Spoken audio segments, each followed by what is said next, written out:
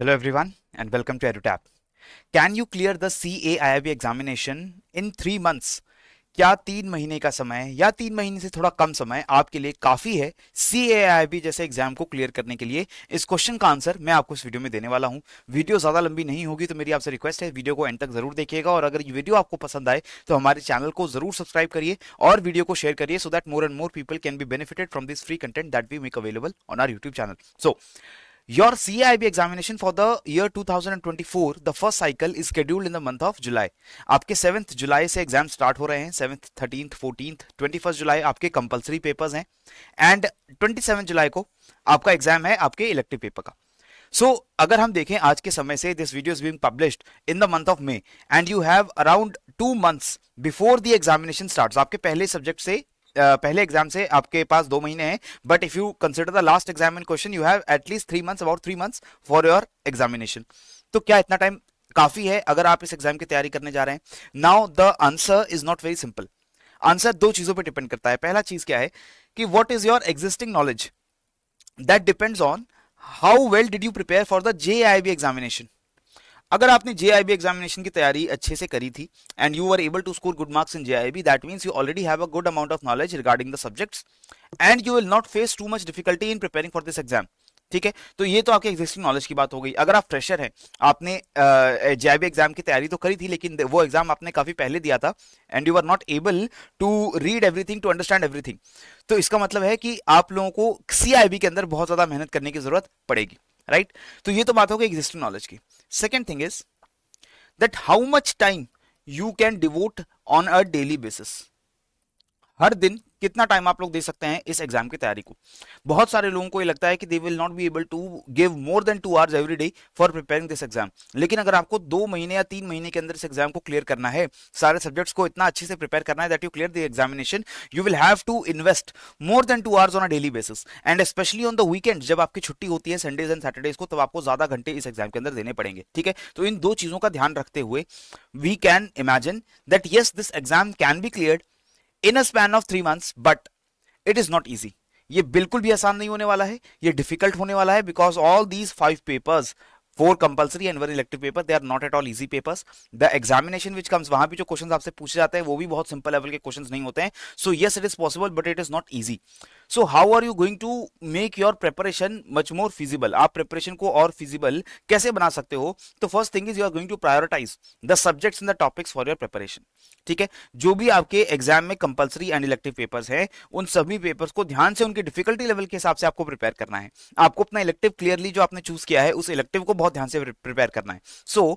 if I talk about your compulsory papers, you have to prioritize. For example, your BFM is considered to be the most difficult one and the easiest paper is the BRBL जहाँ पर आपको चीज़ों को याद करने की ज़्यादा ज़रूरत पड़ती है और उनको आपको बार बार जो है कंसेप्चुअल अंडरस्टैंडिंग की उतनी रिक्वायरमेंट नहीं पड़ेगी। तो इस चीज़ को ध्यान में रखते हुए आपको ये देखना पड़ेगा कि for every subject what is the time limit that you have to allocate आपको बीएफएम में काफ़ी ज़्यादा समय देने की ज़रूरत पड़ेगी। उतना ज़्यादा समय शायद बीआरबीएल में आपको ना देना पड़े but an excessive amount of time will be invested in the BFM ABFM के अंदर और एवीएम में आपका मॉडरेट टाइम जाएगा क्योंकि सब्जेक्ट्स की डिफिकल्टी भी मॉडरेट है, वहाँ पर थियोरी का और न्यूमेरिकल्स का कंसेप्चुअल्स का एक बैलेंस आपको देखने को मिल जाता है right if I talk about elective papers I hope you have chosen your elective very carefully because here if I talk about HRM this is consider to be the easiest paper so अगर आप HRM की तैयारी कर रहे हैं तो आपके लिए काम आसान होने वाला है। आप लोग अगर कोई डिफ़िकल्ट सब्जेक्ट जैसे कि आपने रिस्क मैनेजमेंट जैसा टेक्निकल सब्जेक्ट अगर चूज़ किया then it is going to be a bit bit more difficult for you right then you have to make sure the order in which you are going to prepare. As I already told you, you have to start with BRBL because it is the easiest subject. Then you can shift on to BFM and ABFM and then finally you can go for ABM, right? और उसके बाद आपका जो भी elective paper है उसकी आप तैयारी करेंगे लेकिन इसका एक स्केड्यूल आपके पास होना चाहिए और ये सारी की सारी प्रिपरेशन आपको सिर्फ़ मैकमिलन एजुकेशन की जो आई बुक्स हैं वहाँ से आप प्रिपेयर करें अगर आप खुद तैयारी कर रहे हैं if you are preparing through a course then obviously I assume कि उस कोर्स के अंदर आपको सारे वो कंटेंट अवेलेबल किए जाएँगे जिससे आपकी तैयारी हो रही है लेकिन अगर आप खुद तैयारी कर रहे हो जो कि बेस्ट मेथड है कैब को पढ़ने का कैब एग्ज़ाम क्लियर करने का that you prepare by your own self if you are doing so you have to make sure you are using the sources of IBF recommended Macmillan education books right इसके बाद आपका time management बहुत ज़रूरी हो जाता है। आपको syllabus को क्विकली एक टाइम बाउंड मैनर के अंदर खत्म करना है। इसके अंदर मैंने आपको ऑलरेडी बोला है कि you have to choose your topics सारा सिलेबस आप नहीं पढ़ सकते तीन महीने के अंदर। अगर आपको तीन महीने में या उससे कम समय के अंदर सिलेबस को कंप्लीट करना है you will have to selectively read the syllabus और उस सिलेबस में क्या चीज़ पढ़नी है, क्या चीज़ नहीं पढ़नी है, वो आपको कैसे पता चलेगा? For that look at this banner below me इस बैनर में आपको दिख रहा है कि आपको हमने एक फ्री गाइड बुक प्रोवाइड कर दी है जिसमें सारे chapters from all the four compulsory papers we have given you the important topics that you have to read and rest of the topics you can ignore in the examination so अगर आप एक बहुत कम time के अंदर इस exam की preparation करना चाहते हैं तो आप लोगों को जो टॉपिक्स की लिस्ट हमने यहाँ नीचे प्रोवाइड किया है, उसको ध्यान से आप डाउनलोड कर लीजिए। नीचे आपको लिंक मिल जाएगा डिस्क्रिप्शन बॉक्स के अंदर from where you can download this guide book absolutely free of cost और उसको डाउनलोड करने के बाद, उसके बाद आप लोग उस जो टॉपिक्स दिए गए हैं, वहाँ पर जो क्रोनोलॉजी में दिए गए हैं, उस क्रोनोलॉजी से आप इस एग्ज़ाम को पढ़िए। ये पूरे जो डॉक्यूमेंट्स की लिस्ट है टॉपिक्स की लिस्ट है, ये हमने काफ़ी रिसर्च और analysis of the past examination उसको देख करके बनाया है, ठीक है? ये ऑर्डर मेंटेन करने के बाद आप लोगों को फाइनल जो काम इस प्रिपरेशन को कंप्लीट करने के लिए करना है, वो करना है, एक टेस्ट सीरीज़ को सॉल्व करना है। This is a very important task specially for the subjects like BFM and ABFM where आपका काफ़ी सारा जो एग्ज़ाम है, वो न्यूमेरिकल्स और कंसेप्चुअल से बेस्ड होता है। आपको ध्यान से प्रैक्टिस मॉक टेस्ट ज़रूर अटेम्प्ट करने हैं whether you complete the entire syllabus or not it is very important that you practice the questions because अगर आप एक गुड नंबर ऑफ़ क्वेश्चंस को प्रैक्टिस करके एग्ज़ाम में जाते हैं already there is a high probability that you will encounter questions in the exam which you have already attempted in the mock test so that is why you can score much better marks in the actual exam if you are attempting after attempting or mock test right so इन सभी चीज़ों का ध्यान रखिए और हमेशा ध्यान रखिए कि जब भी आप मैक्यूलन एजुकेशन बुक से पढ़ने की कोशिश करेंगे इस लिमिटेड टाइम पीरियड के अंदर, आप अपनी चेक योर प्रोग्रेस एमसीक्यूज जो हर चैप्टर के बाद दिए गए रहते हैं जो समरी हर चैप्टर के बाद दी गई रहती है उसको ध्यान से एक बार पढ़ लीजिएगा। ये रिवीजन में भी आपके काम आता है अगर आपके पास क्रिस्प नोट्स अवेलेबल नहीं है and you only have the Macmillan books available for you to study then make sure that in order to revise the subjects you go for the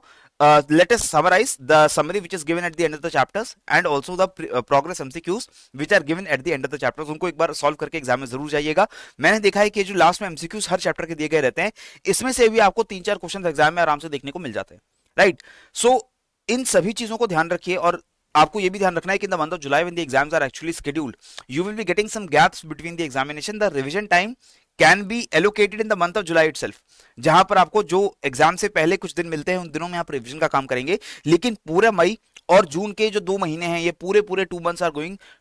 in your syllabus coverage and practicing your mock tests, right? So, this is all the information. And the tips that i had to share with you. And i can assure you that you can clear the exam in uh, you know preparation within only two months or three months if you are consistent enough or ये बिल्कुल भी आसान नहीं होने वाला है। अगर आप इसको अंडर एस्टिमेट कर रहे हैं तो आप बिल्कुल अंडर एस्टिमेट मत करिए, लेकिन तैयारी इस तरीके से करिए कि एटलीस्ट अगर आप सारे पेपर्स एक बार में क्लियर नहीं कर पाते हैं still you can clear two or more than two papers in this attempt ताकि नेक्स्ट टाइम जब आप कैप एग्ज़ाम अगर देने जाए और आपके पास कम समय बचा हो तो आपको ज़्यादा मेहनत करनी ना पड़े, ज़्यादा स्ट्रेस आपको वहाँ पर लेना ना पड़े। लेकिन मेरा ये सजेशन होता है कि आप हमेशा जब भी कैप एग्ज़ाम को टारगेट करते हैं you target it in a long format आप कभी भी ये नहीं सोचते कि एक दो महीने के अंदर इस एग्ज़ाम को आप पढ़कर निकाल देंगे। आप हमेशा इसमें यू नो पाँच महीने का, छह महीने का टारगेट लेकर चलते हैं ताकि आप आराम आराम से हर दिन एक एक घंटा पढ़ करके, दो दो घंटा पढ़ करके आराम से इस एग्ज़ाम को छह महीनों के अंदर आराम से पढ़ सकते हैं और बहुत आराम से क्लियर कर सकते हैं। लेकिन अगर आपने तीन महीने के अंदर ही, दो महीने के अंदर इस एग्ज़ाम को क्लियर करने का फैसला कर लिया है। Then EduTap is here to help you we will provide you all the free content online on our YouTube channel लेकिन आपको अपने लेवल के ऊपर मैकमिलन बुक से जो तैयारी करनी पड़ेगी, जो सेल्फ स्टडी करनी पड़ेगी, वो बहुत ज़रूरी है और उसको एक टाइम बाउंड मैनर में आपको कंप्लीट करना पड़ेगा। एक शेड्यूल बना करके आपको दो महीने के अंदर से कंप्लीट करना पड़ेगा। सो दैट इज़ ऑल इसी के साथ मुझे दीजिए इजाज़त। पढ़ते रहिए, बढ़ते रहिए। जय हिंद एंड जय भारत।